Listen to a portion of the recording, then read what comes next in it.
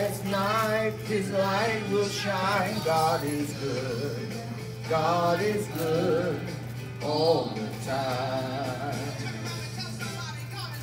God is good all the time. He put a song of praise in his heart of mine. God is good all the time the darkest night, His light will shine. God is good. God is good all the time. God is good all the time. Song of praise in this heart of mine.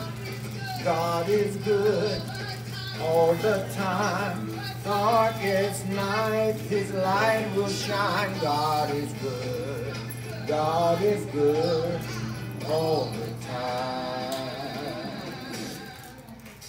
We were sinners, so unworthy, As He chose to die.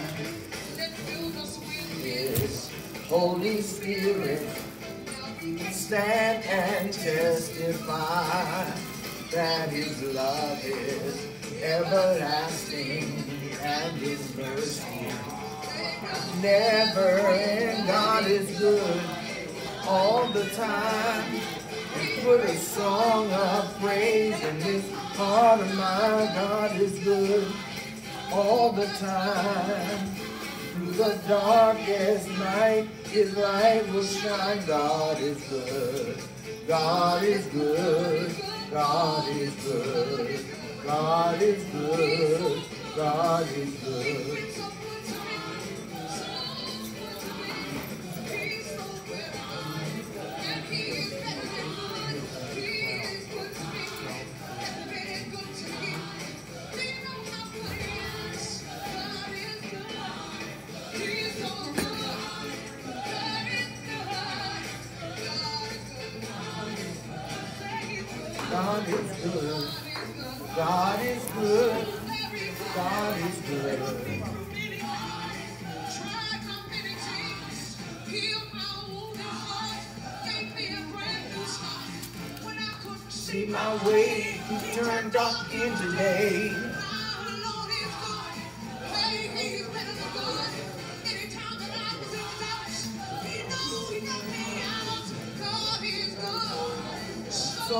say it. That is as good as he. That good as he.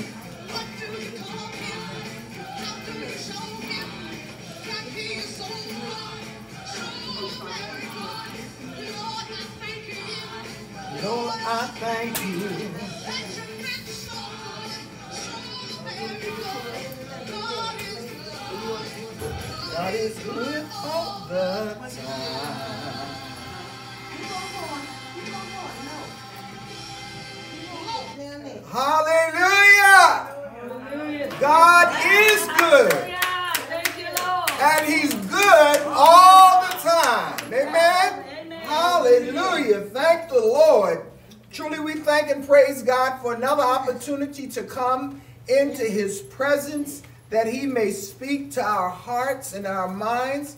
We thank God for the incorruptible seed of the word that shall be sown in the fertile soil of our hearts. We praise God for each and every one of you that's on the prayer line. And we thank God for those of you who are coming in via, um, coming in on YouTube.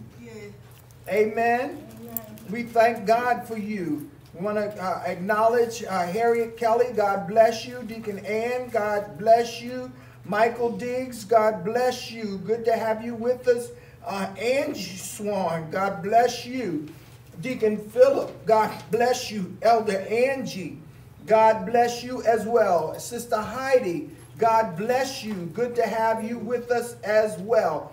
We thank God for each and every one of you, and we praise the Lord for the victory that is ours. And most of all, we thank God for those of you who are in the house. Amen. Thank God for each one of you. Hallelujah. Praise the name of the Lord. We are walking through the book of Acts, and we are in Acts chapter 12, around verse number 18. That's Acts chapter 12, around verse number 18. But before we get into the word, let's bow our heads in a word of prayer. Amen. Amen. Amen. Father, in the name of Jesus, we thank you for your love, your kindness, and for your mercy. We, we bless your name, O God, for you are good. You are great and greatly to be praised. We thank you for the joy of the Lord, for the joy of the Lord is the strength of your people. And it is with joy that we draw water from the wells of salvation. We thank you for peace, the peace of God that surpasseth all understanding. We thank you for wisdom and knowledge, uh, knowledge and understanding, the ability to make the right choices and decisions and to carry it out with excellence. Father, we bless you and praise you for what you have in store for us today. We give you glory, honor, and praise for the word of God. Holy Spirit, take us on a journey. Uncover the mystery, the knowledge of the word. Expose it to our view. Give it to us with such practical application that we can apply it to our lives, going from glory to glory and from grace to grace. For your word tells us that it does not yet appear what we shall be, but this one thing we do know is that we shall be like you, for we shall see you as you are. Thank you in advance of what you're going to do by the power of your spirit in Jesus' name. Amen and amen. Amen. Well, we're in the in the book of Acts, chapter number 12. We've just come out of the uh, uh, uh, earlier part of uh, the 12th chapter of Acts, where uh, Herod had taken Peter and had imprisoned uh, Peter, and his desire was to kill Peter as he had killed James, the brother of um, John, the brother of James, James, the brother of John. Um, and he had Peter arrested because of a couple of the Jewish feast days, a couple of the Jewish holidays, uh, what we would call holidays, but they were holy convocations. These were times that they were instructed by God to honor and to celebrate. They were a type and shadow of things to come. And so they uh, put Peter in prison because of the Feast of Unleavened Bread and because Passover was following the Feast of Unleavened Bread. And he knew that even though the Jews were satisfied with, the, uh, uh, the, with them taking uh, James, that he could not um, take the life of Peter on their feast days. And so he's waiting until after that. But we remember that an angel of the Lord visited Peter while he was in prison. And the angel took him out of the prison, out of the gate of the city, and allowed him to go uh, to the home of Mary. And there he began to share with them the testimony of how he got out of prison. And so we get to verse number 18. Now, as soon as it was day, because Peter left prison at night, so he walked out during the night. And as soon as it was day, there was no there was no small stir. In other words, it's saying uh, uh, it created a lot of havoc. Uh, there, there was a lot going on because Peter was not found there being shackled to those two guards, all right, to those two soldiers. There was a small stir among the soldiers. What was become of Peter? So they're trying to figure out what happened to Peter. Where did Peter disappear to? Where did he go? And, and, and, you have to understand the soldiers are still sitting there with the shackles on their wrists because you had one on one side of Peter shackled and another on the other side of Peter shackled, and they're shackled there to Peter. All right? But there's a problem. And the problem is Herod wants to know what has become of Peter. Where did he go? Who let him out?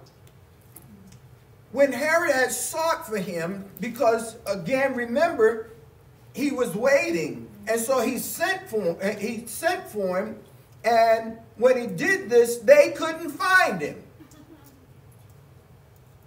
So what he did was he cross-examined the keepers, those who were uh, guarding him. Because remember, the scripture says there were four sets of, of guards that were guarding him. There were two that were shackled to him.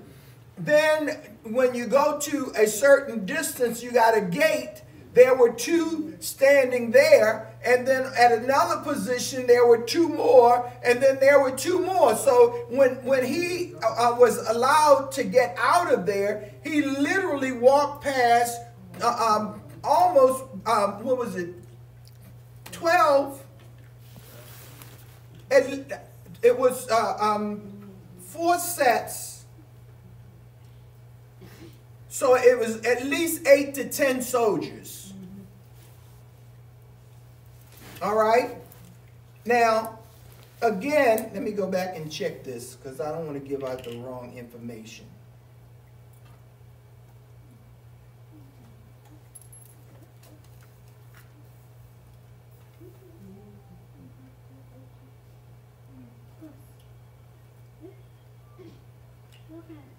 Okay.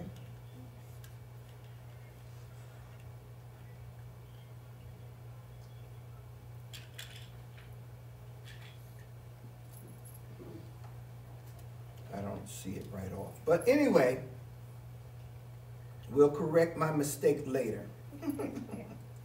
but anyway, he, he passes by all of these soldiers and nobody knows what happened to him. Now, you have to understand that basically what would happen is when a person was imprisoned and they were chained to uh, uh, the guards that were watching them, if that prisoner escaped, then normally what would happen is the, the, the guards that were assigned to him now has to do his time they now has to do have to do his time. Now, we have to understand Peter hadn't been given any time.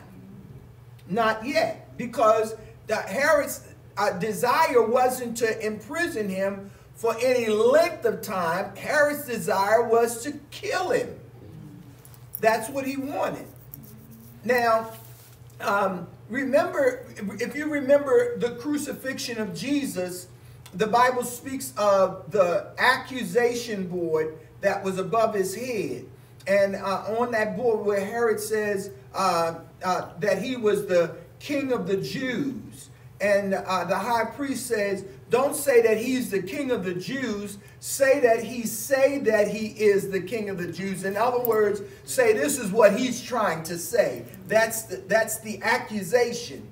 And Herod says, I have written what I've written. In other words, I've written that he's the king of the Jews, and that's that's the that's what he's being judged for. So they would give them an accusation board, and and that would determine with that determine uh, how much time they would do, and then um, they would be in prison. But if they managed to escape from prison, usually if it was before their time was up, usually the soldiers who were responsible for guarding them would then have to deal with that time. We see that with, remember when uh, uh, Paul and Silas was locked in jail and uh, they were at midnight, they began to worship. And as they began to worship, the shackles fell off of them and, and the gates uh, uh, of, the, of the jail began to open. And uh, as this occurred, what happened was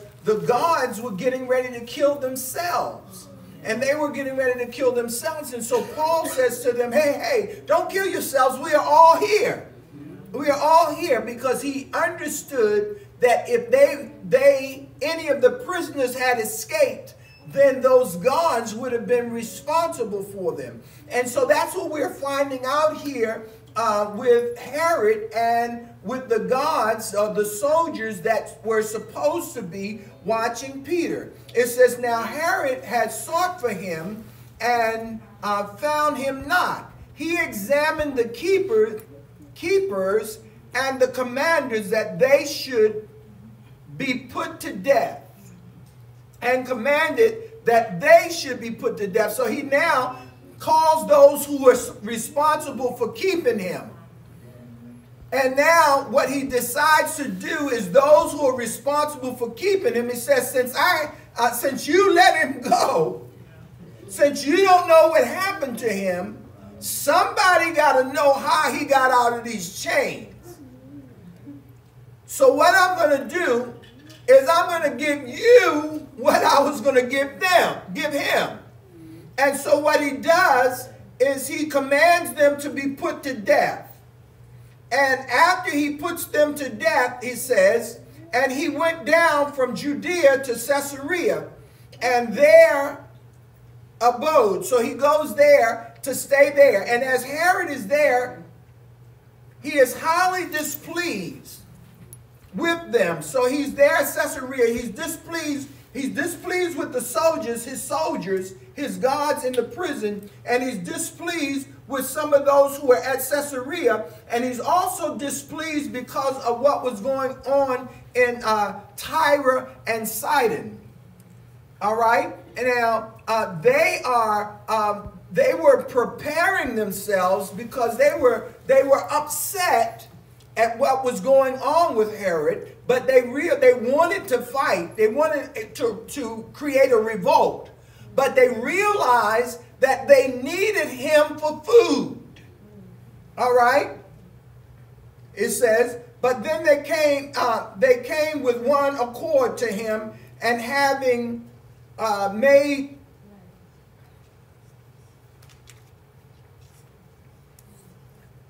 um,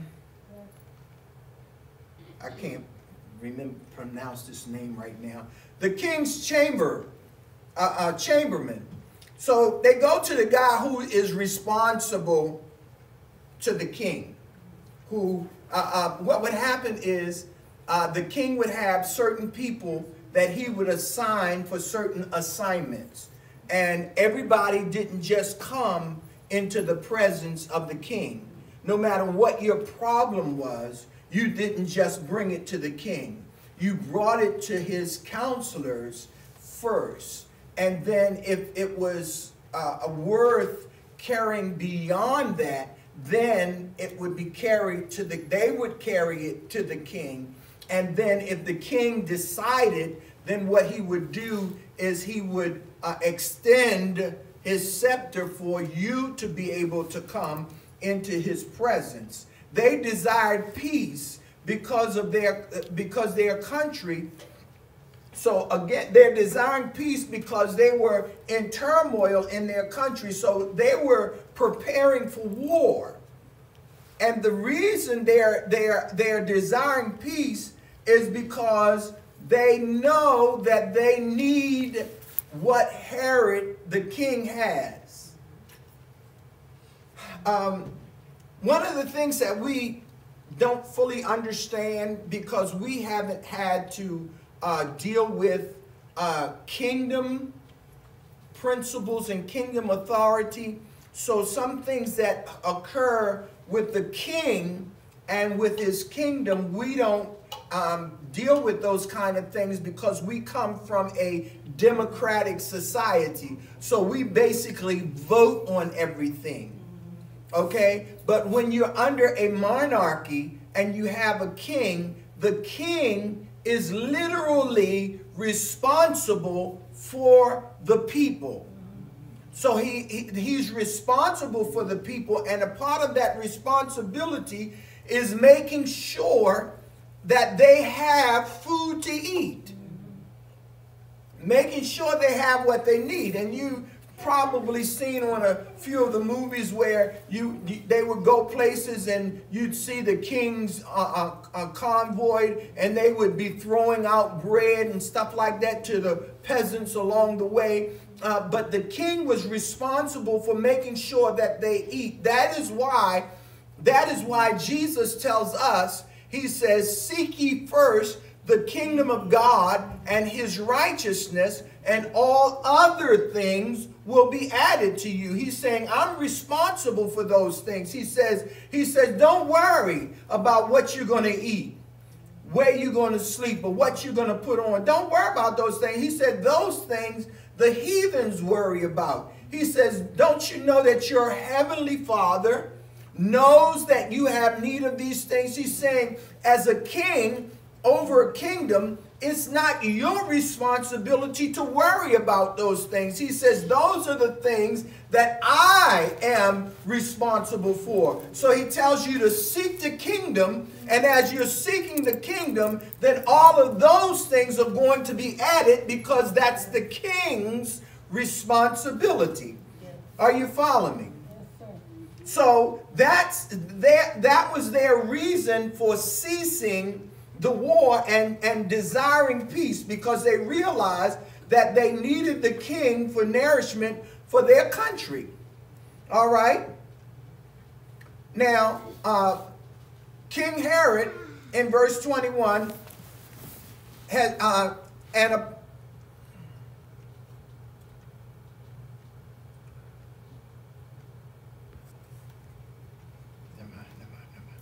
Okay.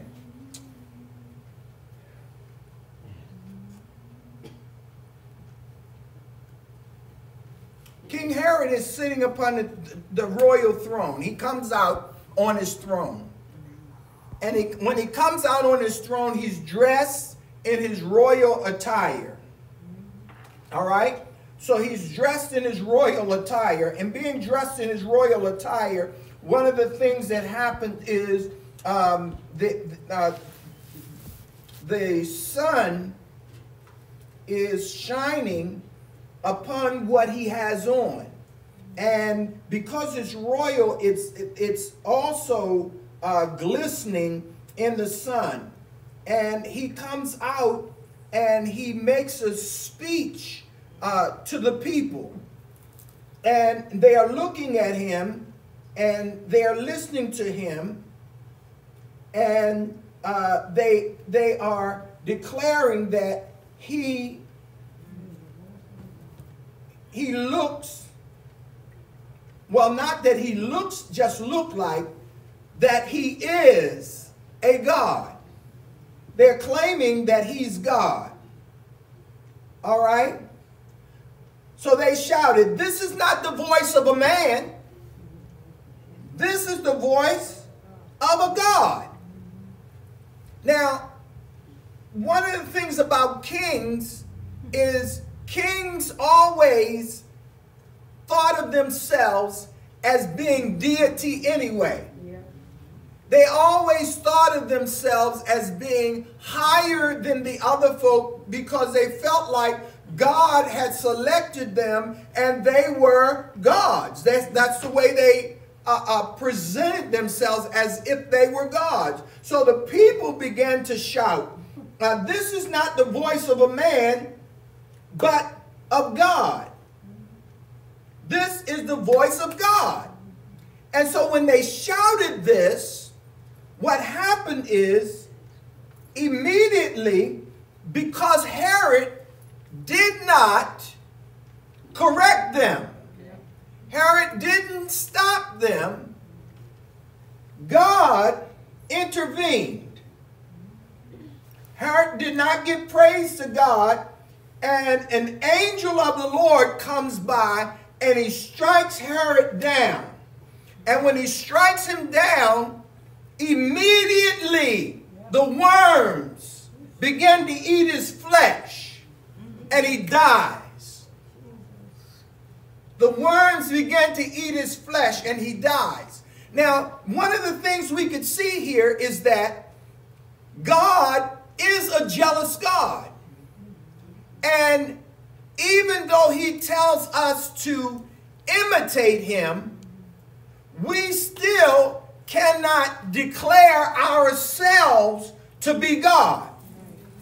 Even though he chooses to share his power, the Holy Spirit's ability with us, we still cannot claim to be God. Even though we may be operating in authority, we still cannot exalt ourselves to the position in thinking that we are gods. Why? Because God is a jealous God. And we saw that with we saw that with Lucifer. Lucifer's decision was I will exalt my throne above the throne of God. I will go high up in the north, and I'll be like the Most High God. So Lucifer tried to exalt himself to be God.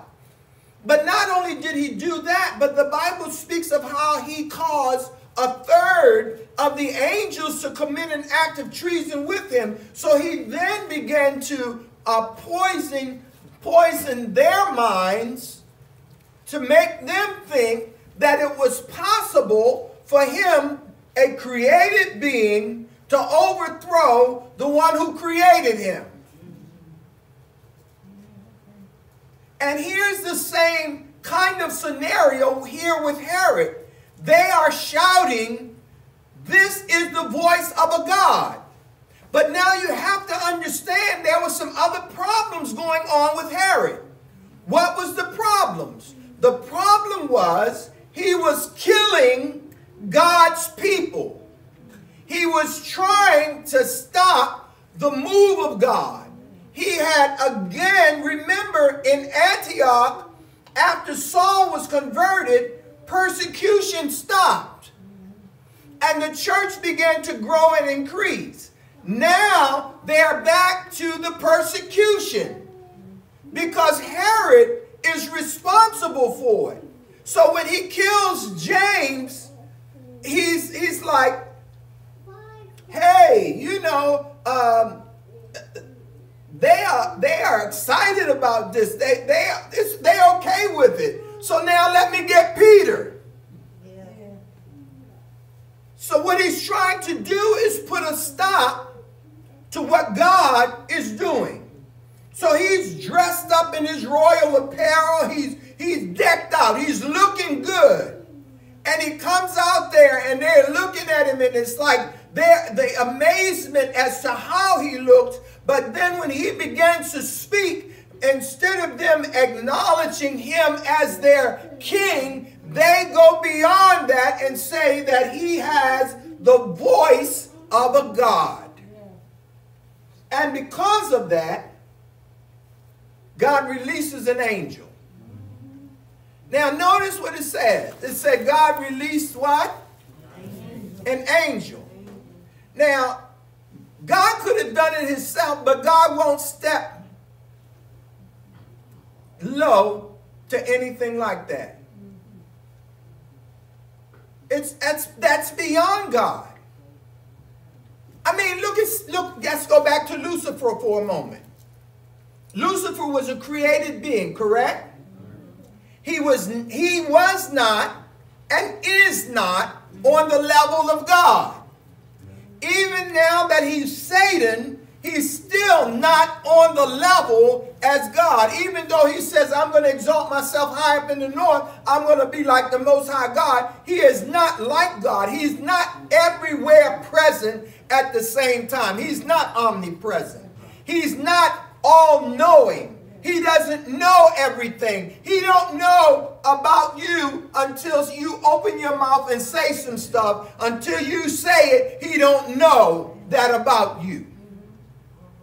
Some things he might plant in your mind and make you think you thought of it, but he doesn't know everything about you until you open your mouth and begin to say some things. All right? So he's not all knowing. He's not everywhere present at the same time. He's not all powerful. He has power, but he's not all powerful. His power is limited because he is a created being. The difference in him now and the way he was then was he was an anointed cherub.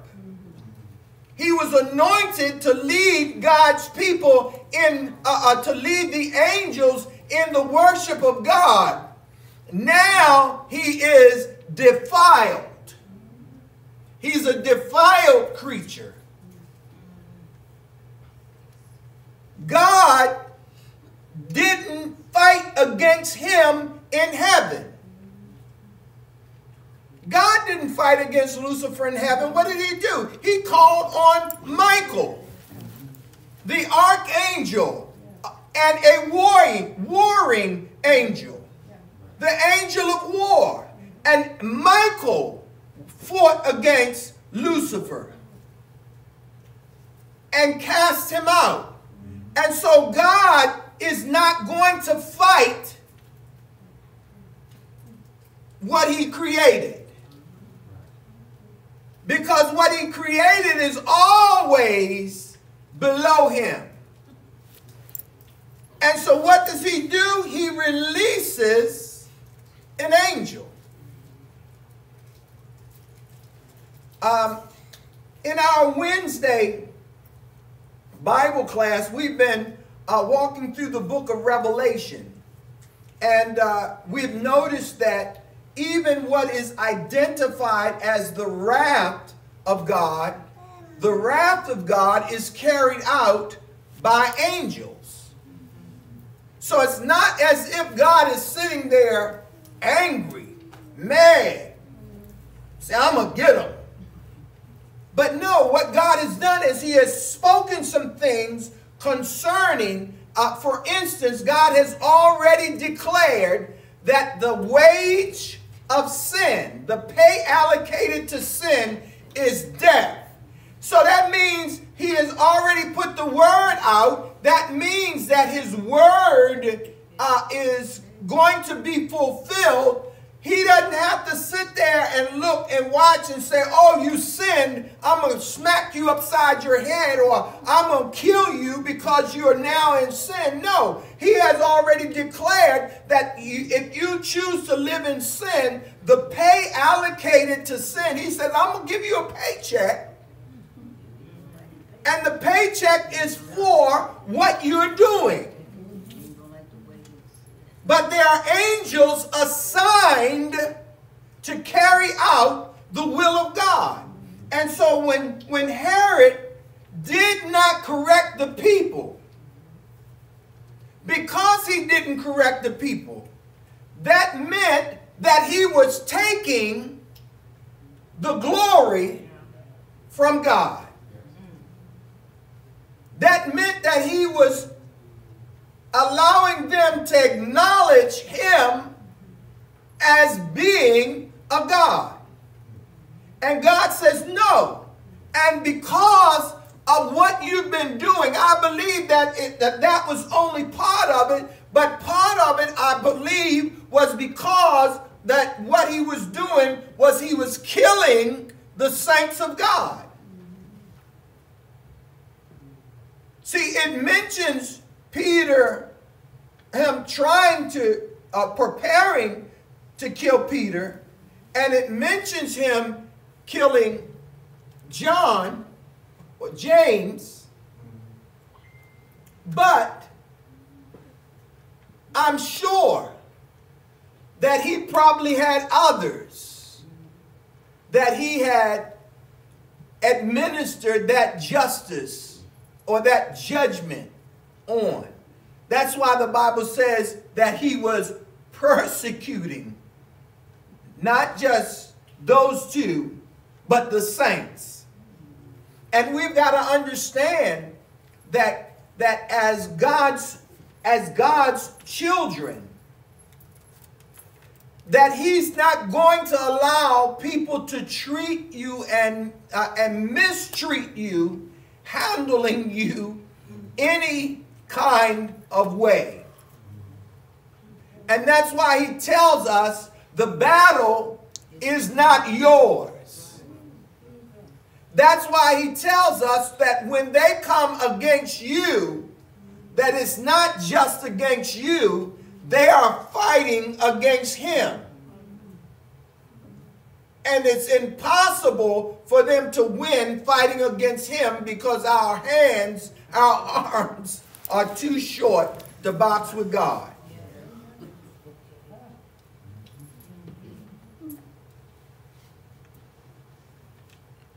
So Herod drops dead worms eating his flesh. Verse 22 says, But the word of God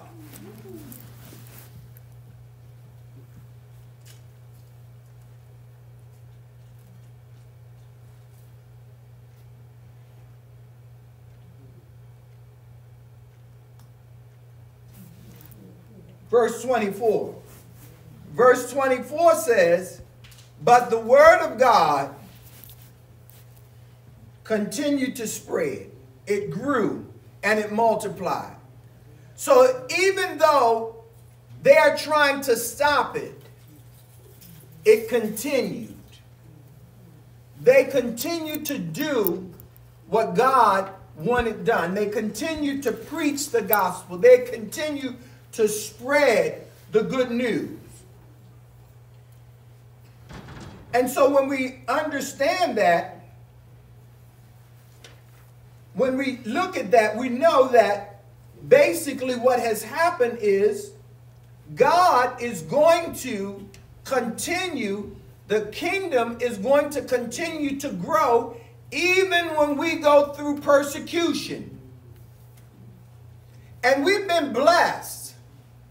As a nation, we've been blessed because we haven't had to experience what other nations have had to experience because they have chose to make Jesus Lord of their life. We haven't had to live underground. Even though our church is on the lower level, we're not an underground church. There are those who have to live as an underground church there, and they moved the church from place to place to, to prevent them from being persecuted, to prevent them from being beheaded and killed. And even though we have the liberty and the freedom to spread the gospel, some of us are still so selfish that we, we won't even unpart our lips and share it with others.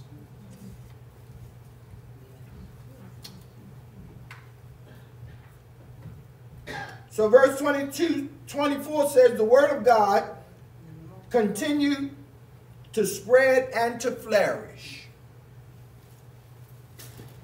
And Barnabas and Saul returned from Jerusalem.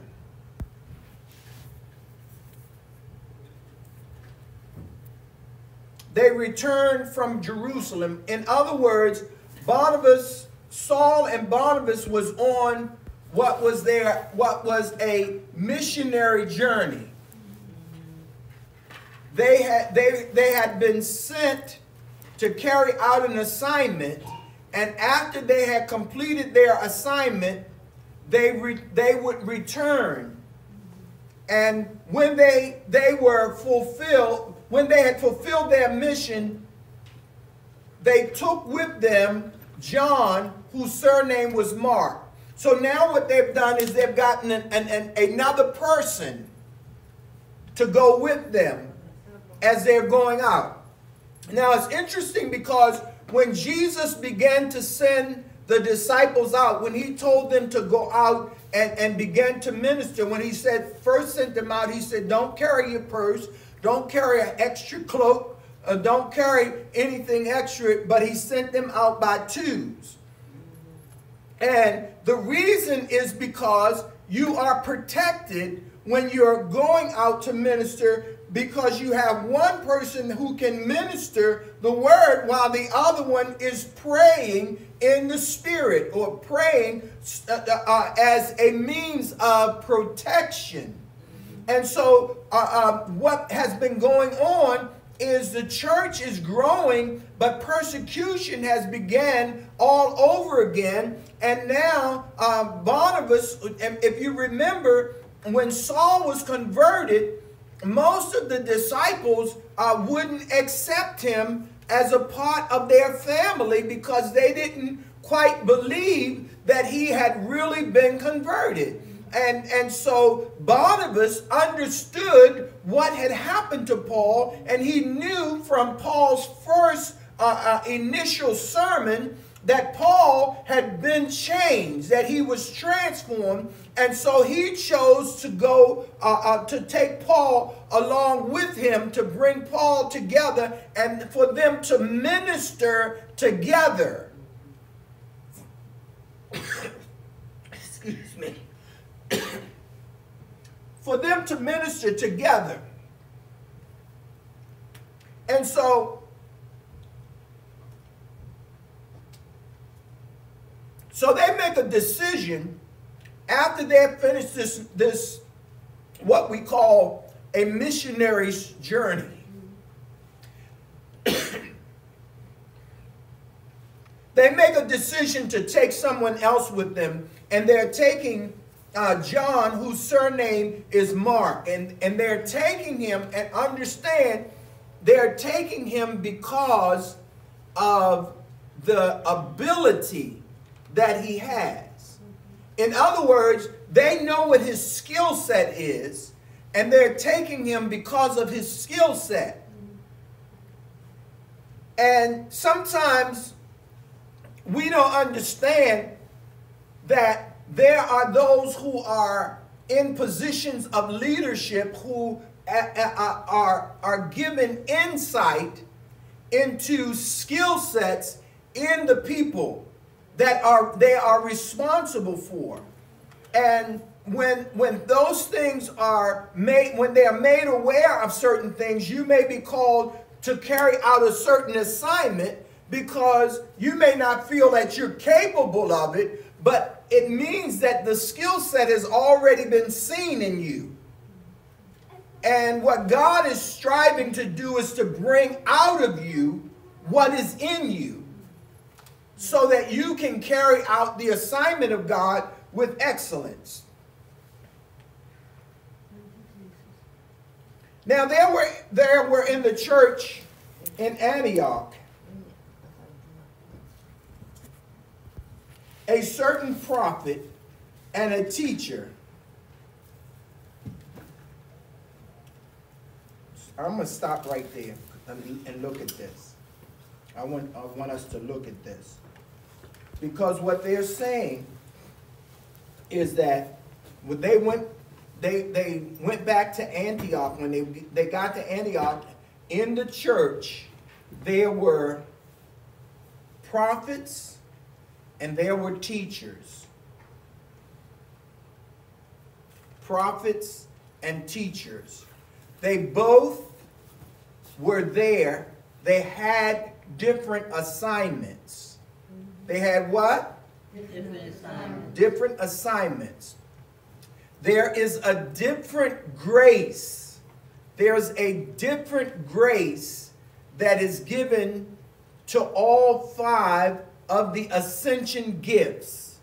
There's a different grace that is given to all five of the ascension gifts. What are the ascension gifts? It says when Jesus ascended on high, he gave gifts to men. He gave first apostles, secondarily prophets, evangelists, pastors, and teachers. Each gift had each one of those gifts have a different metron of grace, a different level of grace because they have a different assignment. Now, however, there are some who are, I could say, cross trained. And what I mean cross trained is they may have a dormant gift and then they have another gift that flows along with that gift. And, uh, uh, and, and, and that's because God chooses to use them uh, in order for the release of that grace. All right? Now, let me bring out a little clearer. You hear me say often that what kind of ministry is this?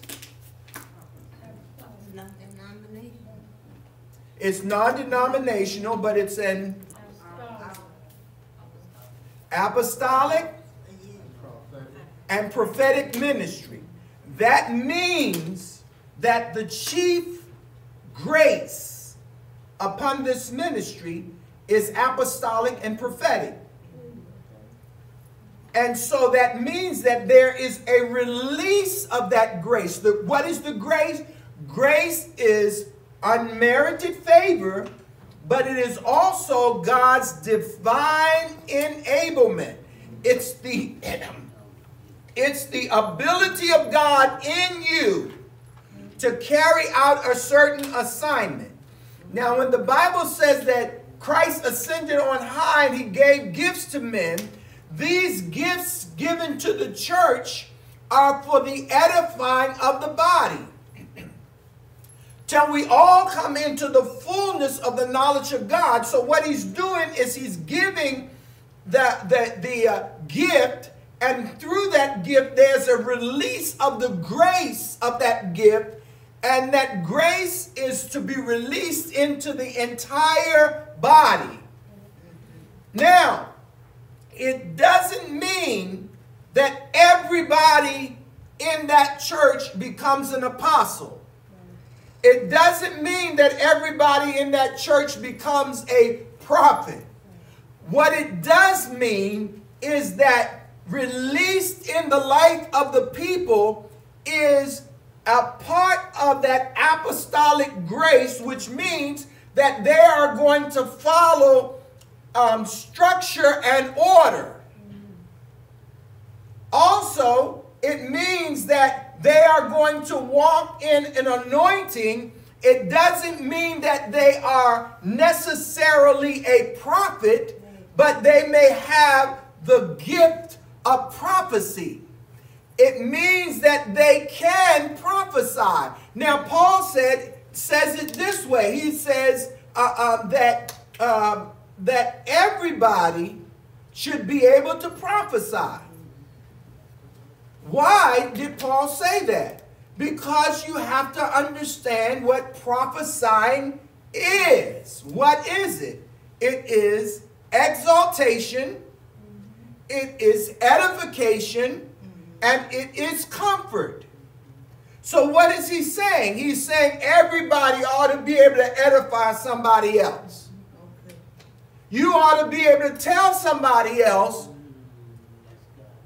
that you can make it. You ought to be able to lift up somebody else, encourage somebody else. And that's what he's saying when he says all of us should be able to prophesy. But all of us, it doesn't make all of us prophets. Because the mantle of the prophet is a different thing. Now, here is what we have to understand, and I don't know how I got in this vein.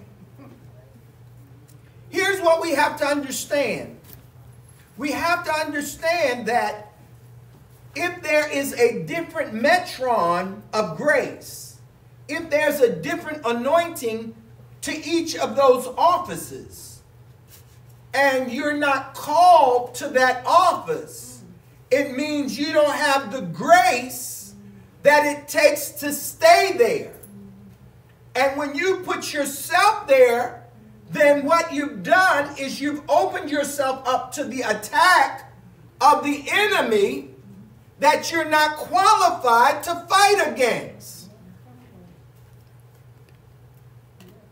Are you following me?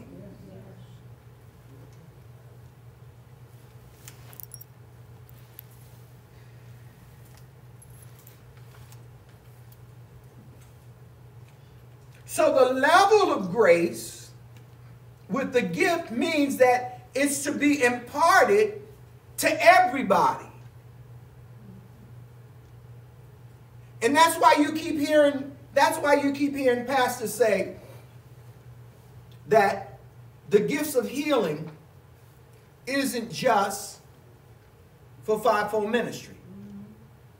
That's why you hear me say the gifts of healing isn't just for the pastor. It isn't just for the elder, even though the scripture says you can call for the elders of the church and they shall lay hands on the sick and they recover. But it's not just for the pastor and the elders. The gifts of healing is for the body. It's for the body. The gifts are for the body. And so the release of the grace, the grace of the Bible says that that that that gift was given to the individual. Then Paul asks a question. He says, Are all apostles, are all prophets?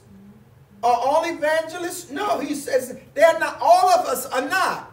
He says, but what happens is when that gift is released in the church, that grace and that anointing is being released, it gives you the ability to function in those areas. So you're given, so you, in other words, the anointing on an evangelist the anointing on an evangelist is for souls, right? All right. So now, the anointing on an evangelist released to the body, the church at large, it means the church at large had now become a church that is after souls. They're looking to win souls for Christ. The anointing on the teacher. The anointing on the teacher is what?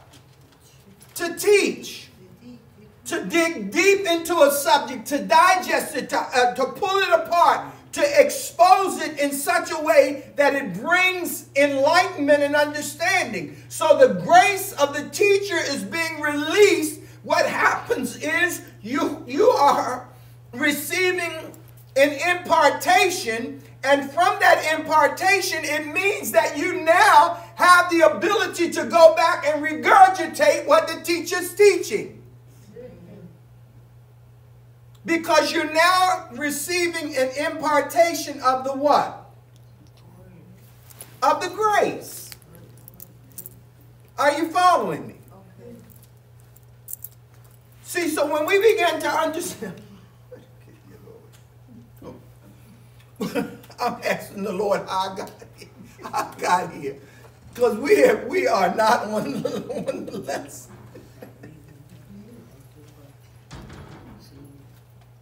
So what we're trying to,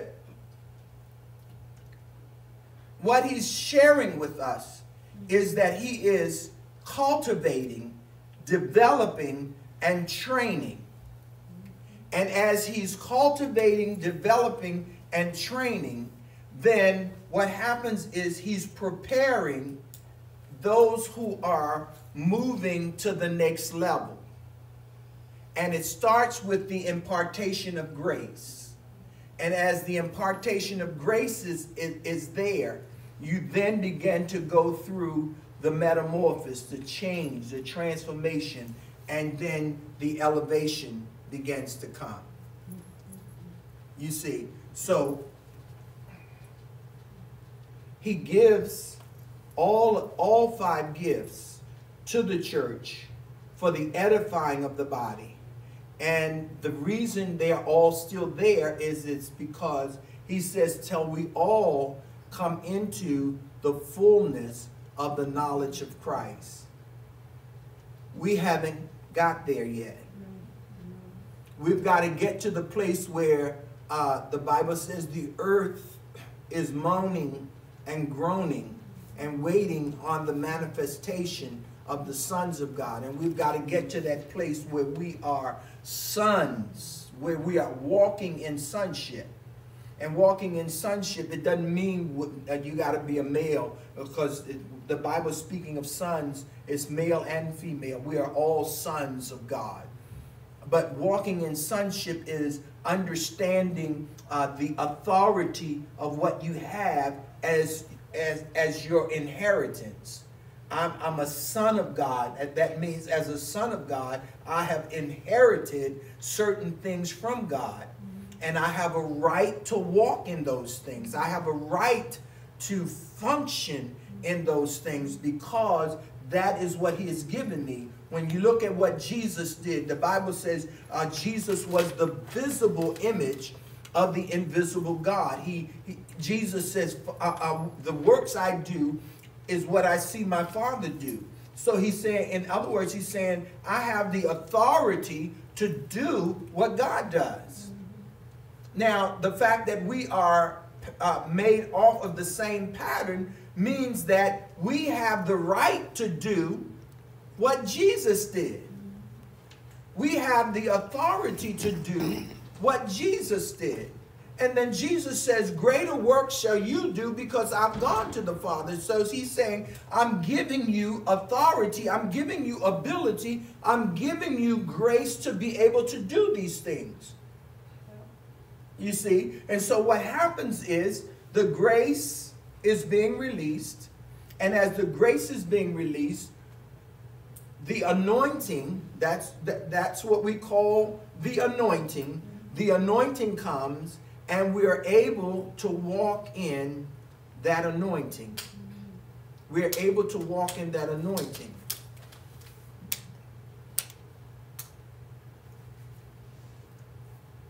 And it becomes a progressive walk. I see you. It becomes a, what kind of walk? Progressive, progressive walk. Yeah. A, a progressive walk. Exactly. You're, you're moving forward progressively. Mm -hmm. And, and as you're doing that, God is refining you. He's training you. He's developing you. Mm -hmm. He's cultivating the gift in you and that's important because what happens is if, if we move out of timing, then uh, we end up being hurt. But we also can end up hurting others. Um, I guess, I guess I have to start chapter 13 Sunday, huh?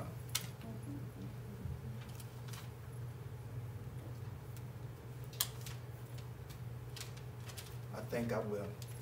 We'll start chapter 13 on Sunday. So, um, are there any questions?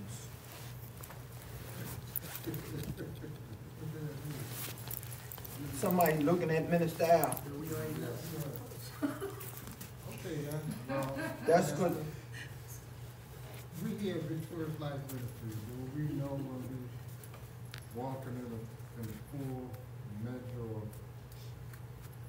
progressive manner that we should, do we know it? Are we close to it? Say that again, please. We here at Victorious Life Ministry, will we, will we know when we are walking with the all five essential gifts, walking uh, in the right direction? when, when we are, when all five ascension gifts are there, we are walking in the right direction. But uh, let me, let me share something with you. Um, and uh, th- there's the analogy of uh, this water bottle. This water bottle is a 16 ounce bottle of water, right? Um, well, it's, it's a, I, I took a couple swallows out of it, so it's not completely full. But just imagine that this full to its capacity. All right? So, um, what happens is this gets full to its capacity. And we're like, like that water bottle, we're full to capacity. When we get full to capacity, what happens is we sort of get satisfied with where we are and what's going on. And then what happens is God says, okay, uh, they're, they're, they've been obedient and I've blessed them and they're full to capacity. You know, and so what God does is he changes the container from 16 to 32 ounces. Now the container is a 32 ounce container, but you still only have 16 ounces of water in it. So now you're only where?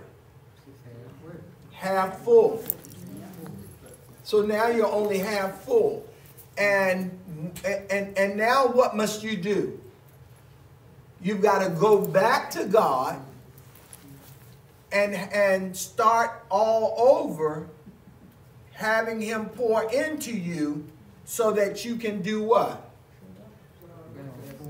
So that you can get 32 ounces. But then once you get 32 ounces, what's going to happen? He's going to enlarge your capacity. He's going to enlarge your capacity. So what happens is, um, God never wants us to just get satisfied where we are. And so what he does is he uh, enlarges our capacity once we get full. Once we get to a certain place, it seems like we at that place, and uh, you know, it's almost like you stuck there. You know, you you feeling good because it's like, oh man, you know, the presence of God, of God is moving here. Oh, good. And then all of a sudden you come in and, and it's almost, it seems like everything is just, say, what happened? What happened is the container has been enlarged. The capacity is now greater. And so now you have to have a greater hunger and thirst for those things. And that's why you hear me say to you often when you come, come with expectation. We should never come in here without expecting God to do something supernatural, do something miraculous, to speak directly to us, to pour into us. Because as we do, our, um, our, our, when our capacity is full, He's going to enlarge us. Because there's always more. There's always more. And then once you get the more, when you get to the point, when you get to the point where there's no more to be expanded, watch out. I knew that, I just wanted to class. Cause then he then he then he's gonna take you out of here.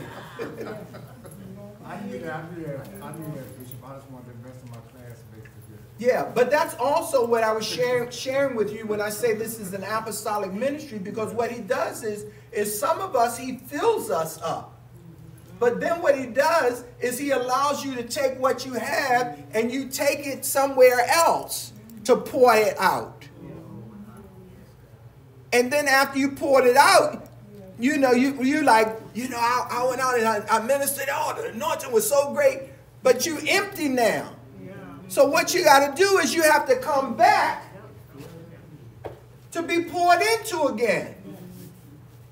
And when he pours into you again, then you're released to go out again and pour it out. You see, because again, it's not just for you, for me. You know, we can't just be sponges. Sponges absorb and hold whatever they absorb. Not, not, not until you wring them out. We have to be a funnel. A funnel is allowing what God pours in from one end to come out the other. And that's what he's calling us to.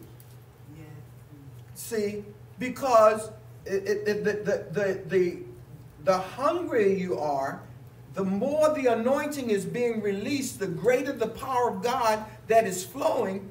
After a while, what's going to happen is you, if you're just sitting here, you're going to be so fat that you can't move.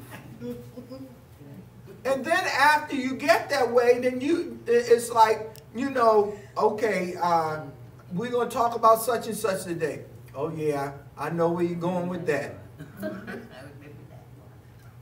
you know, and, and, and, and it's almost like you, uh, okay, I'm going to run down the road and wait till they get to the, the exciting part, you know. So, so it, we have to understand that that's not where we are and that's not where we're going. We're in a place where God is pouring into us. And, and, and again, because this ministry is being prepared to, to be an impact on our city, our state, and our region.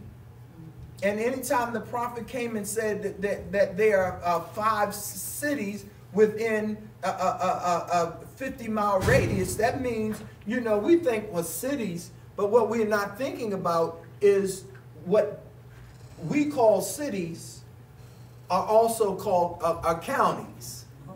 They're called, that, that, that would be the same as a city. You know, and so so when we start looking at it, that there are areas that God is saying, okay, I want you to have an impact in this area. And so we start with the we start impacting through prayer. And as we're praying, then we move beyond prayer to the physical impact. And some of it, some of it will be because you're already in that region. You're already in that area. You know, and, and God is just just using you as as a, a, a conduit. Uh, um, you know, uh, you, you are uh, that conductor that, that, that current is coming through that power of God comes to you, you can't just shut the circuit breaker down. You know, nobody else would have any electricity. You shut the breaker off. He's allowing you to be able to release it to those who are around you. Y'all, are you following what I'm saying to you? Okay. Any other questions?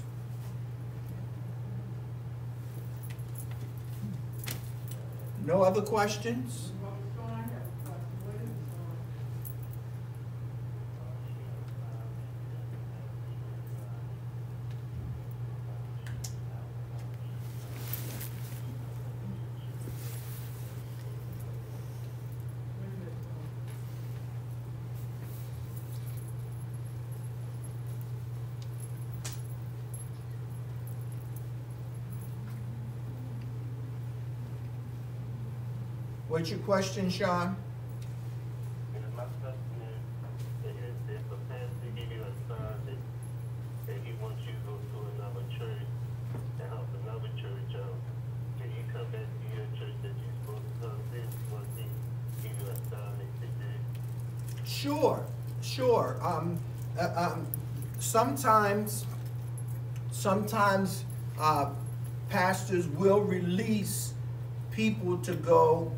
to other churches to help them to get certain things started, to do certain things.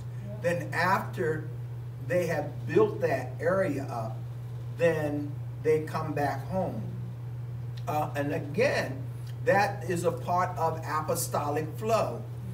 You know, um, and then sometimes it's, it's just for a, a particular assignment uh, um, to, to, develop something. It may be uh, your skill set in uh, helping to develop a department.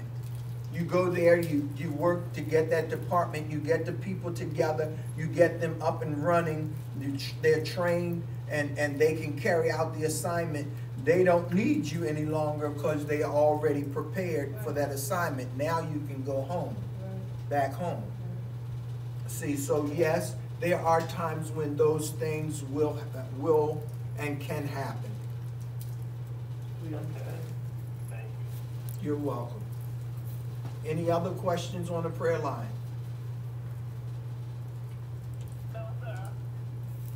All right. All right, if there are no other questions, then we will, we will uh, come to a close. Let's pray. Uh, Father, we thank you for the opportunity that we've had to share with, among your people uh, this day, and we pray, Father, that the word, the seed that have been sown, Lord God, will be uh, cultivated in their hearts and in their minds to help to develop them to the full extent of what you're calling them to in this season of their life. In Jesus' name, uh, the Lord bless thee and keep thee. The Lord make his face to shine upon thee. The Lord turn his face toward thee. The Lord be gracious unto thee and give thee peace. Now unto him that is able to keep you from falling, present you faultless before the presence of his glory, with exceeding joy to the only wise God our Savior, be glory and majesty, dominion and power, both now and forever.